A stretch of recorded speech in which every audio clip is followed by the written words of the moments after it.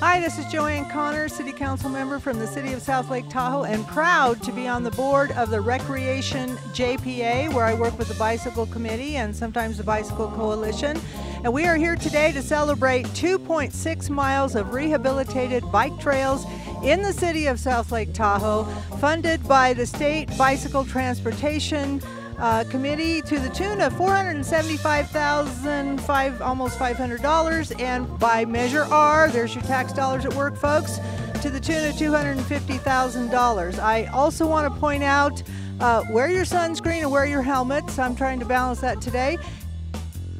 I'm Shay Navarro. I'm the chair of the JPA Bicycle Committee, and we're a citizen group that helps to decide how maintenance dollars on existing bike trails can be spent.